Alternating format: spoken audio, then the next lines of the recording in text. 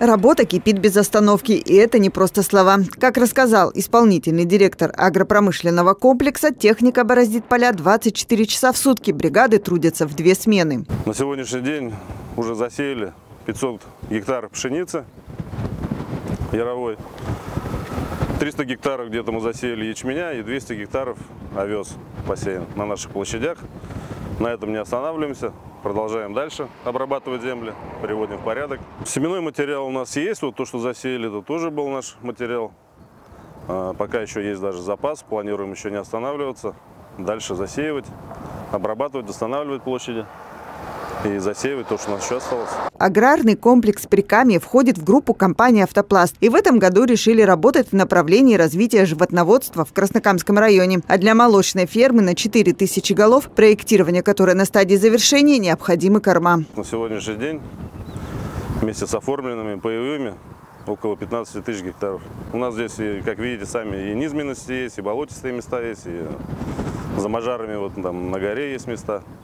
Все будет зависеть, но надеемся на больше урожай. Мы осенью только начали обрабатывать, поздно осенью. Успели обработать где-то 500 гектаров. Вот. А в этом году будем расписывать еще план. Пока не планировали, посмотрим по обрабатываемым площадям.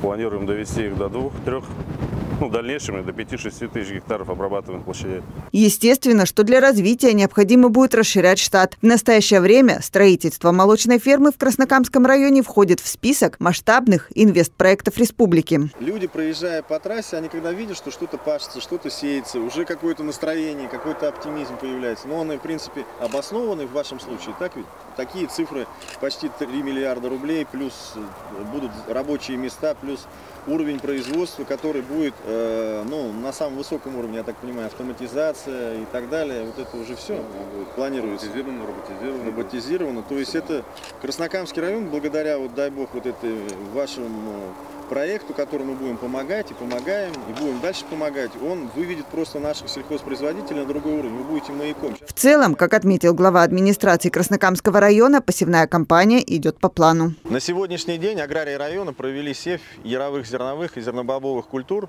на площади более 8 тысяч гектаров что составило 63% годовому плану. Посев яровых зерновых культур завершили такие хозяйства, как племзавод «Алга», «Восход», НУР, Раздолье, КФК «Муртазин». Очень важно, что в ближайшее время наши сельхозпроизводители планируют начать посев таких культур, как кукуруза, подсолнечник, и осуществить необходимые агротехнические процессы, направленные на сохранение посевов и получения максимального урожая. Что касается агропромышленного комплекса Прикамья, то на сегодняшний день в Краснокамском районе на данный момент это самый крупный инвестор, и предприятие планирует активно развиваться в сфере животноводства.